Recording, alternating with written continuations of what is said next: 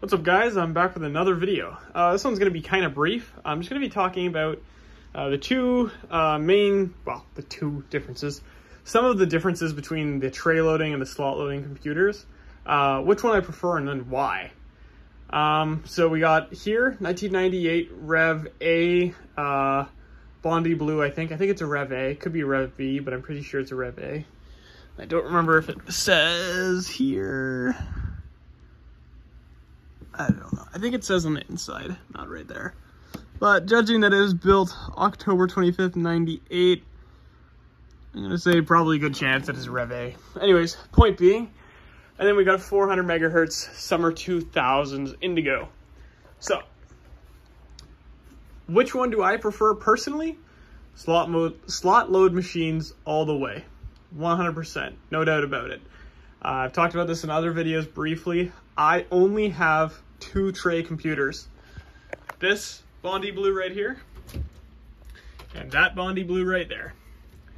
And the reason for that is because I don't like them. Uh, they're more difficult to work on if you want to do anything, like take out the PRAM battery or upgrade the RAM. First step, okay, pull the motherboard out. Pull, well, not not even the mother. Pull the whore, pull the whore pull the whole CPU assembly out, right? You got your motherboard with CPU, which has the RAM slots on it. And of course, the, the one RAM slot is underneath a cover, so then you have to disassemble that. And then the hard drive and CD drive is also part of that. And then you have to disconnect the screen. You have to disconnect two power cables, I think. Then you got to try to jam it in so that the, this slides back into place incredibly annoying. Um, and of course, the quickest that you could get one of these in was a 333 megahertz, which is, I mean, for 1990, I guess, 9 probably is what it would have been. That's not that bad, but definitely not good in the standards of you could get these up until, or up to 700 megahertz, right? So, uh, anyways, first off, we got the obvious differences, right? This is like a like a, it's got like a little texture to it almost, uh, and it's not like fully translucent. Okay, this one, I mean, it's dusty as, I mean, you can see that, but it's very translucent. Uh, there's no texture to it.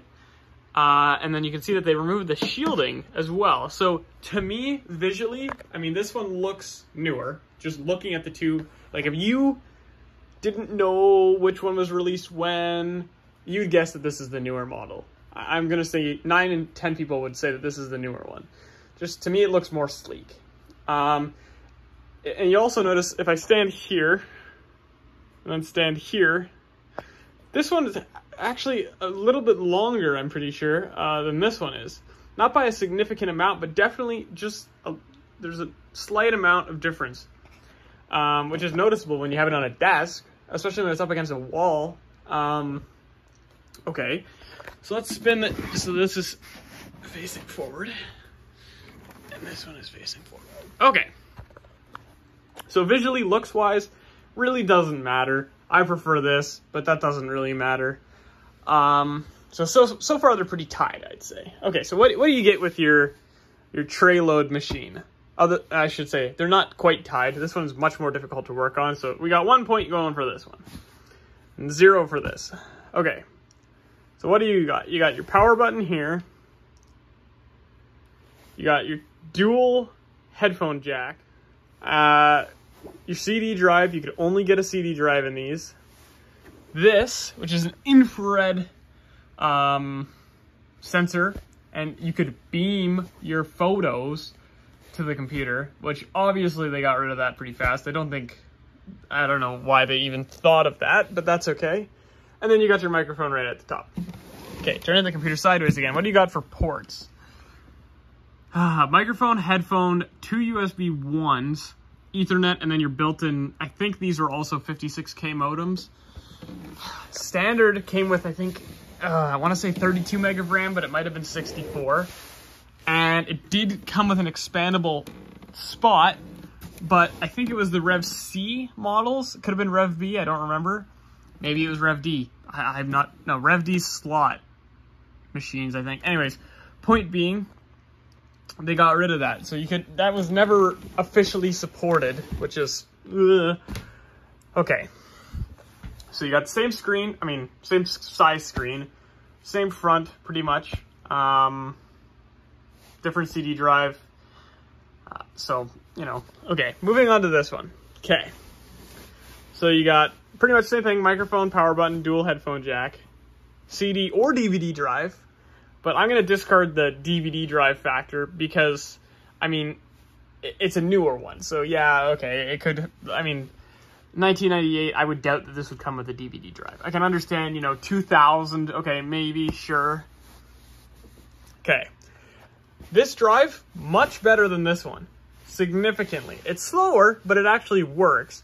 Whereas these, you know, the, I'm sure probably after, you know, the whoever owned this for five or six years, struggles to eject the disc, it struggles to suck it back in. It's just, it's incredibly annoying. And then sometimes you gotta take the bottom piece off or get like a screwdriver and wrap some tape on it to stick on it to try to pull it out. Totally just, uh, it's incredibly annoying.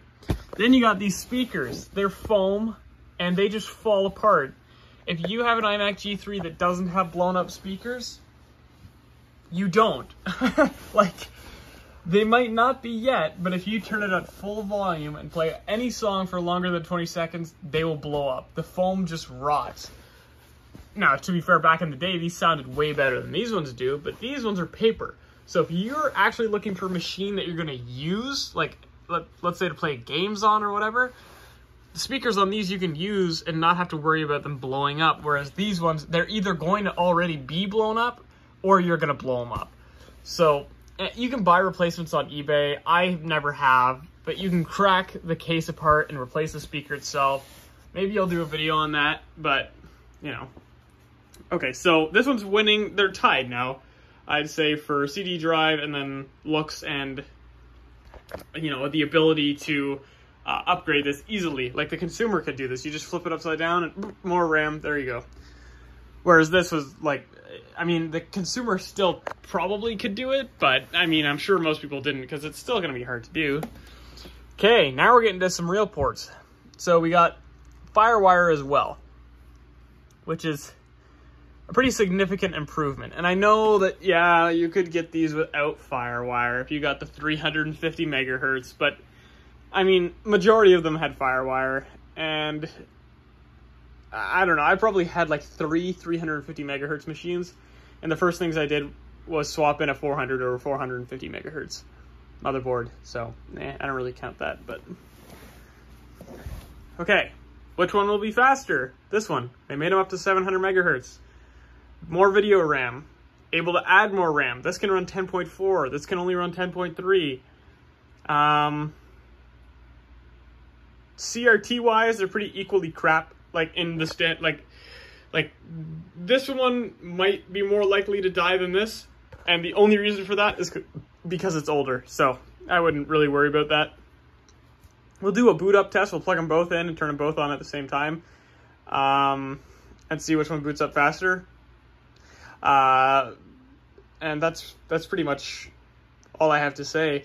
Um, is to me these look better. They're easier to work on uh, and they're they're always going to be faster. This you have kind of more reliability with you know the use of the CD drive and the speakers, um, but to me it's not worth the trade off. I'd rather have a slot machine with a better chance that it's going to die than one of these. But at the same time, I also have two of these, so my opinion is not. I mean, I got eight billion of them. Uh, so yeah, let's uh, let's plug them in and see what they do. Okay, so this is my other Indigo that I have, the one that I, like my first iMac I ever bought. Um, the friggin', I, I fire up the other one and I forgot that it searches for, uh, I don't know, it shows a picture of the world. I assume it's looking for a server to boot off of, I, am not really sure. Uh, anyways, and it does that for like 45 seconds and then it boots from the operating system. Uh, so anyways, that was not really a fair test. So I'm gonna start the these two up at the same time. Uh, I don't think I can, I can do this maybe. Okay, I don't think you'll be able to see, but three, two, one. Don't. Well, they both made the noise at the same time, so I feel like that's fair. Screen just turned on on this one.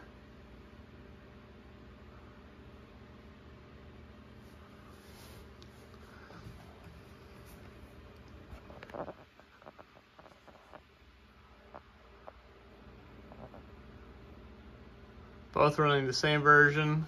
Both have fresh installs. This one's got 512 mega RAM though.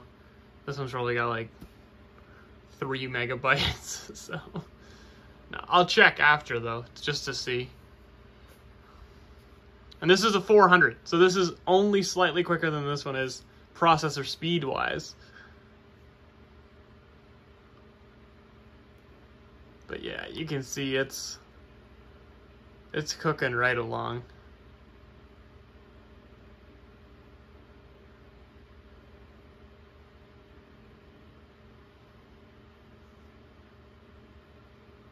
I mean, it is only slightly quicker, but also I actually have stuff on this computer, and you can see it's just opened all of that, whereas this has nothing on it. So it literally has a fresh install, and that is it. Whereas this, I mean, I used it, right? So it's got actual things on it. And I mean, if I tried to play Duke Nukem on this, it'd probably explode. Let's see.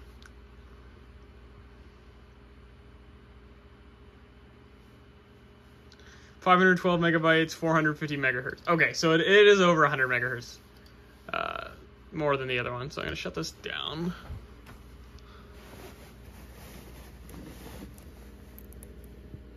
Oh yeah, the CRT in this one makes some funky noises. A Little sketchy. It's funny though, because the higher that you leave it, or sorry, the longer that you leave it on, the less sketchy noises it makes.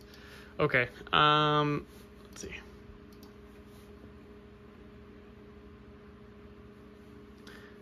Yeah, so it's almost got the same amount of RAM, but it is significantly slower processor speed-wise. So, eh, but there you have it. Now you know which one boots up quicker and which one can load quicker. And believe it or not, it is the one that's spec higher. I know, it's very incredible. Who would have thought? Uh, anyways, if you'd like to see any other videos, uh, let me know. Uh, I probably will make um, some videos on these um, in the near-ish future-ish being the keyword. I'm definitely going to make a video on the unboxing of that. I don't even think I ever tested that see if it works. I bought it local from a guy that's bought stuff off me. And I think I bought something off him. I bought that off him. I think I paid, somewhere around like $300 Canadian. Uh, which, I mean, I'm not getting rid of it, so I feel like that's about what it's worth. Uh, I, although I'm sure you could get more off eBay. And then I traded him a Power Mac G4 for this iBook a couple months after the fact. And he lives in the same town as me, which is great. Um, so yeah, uh, I hope you enjoyed this video, and uh, like and subscribe.